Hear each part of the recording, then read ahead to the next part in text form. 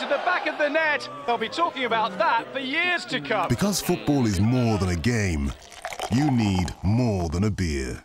Guinness.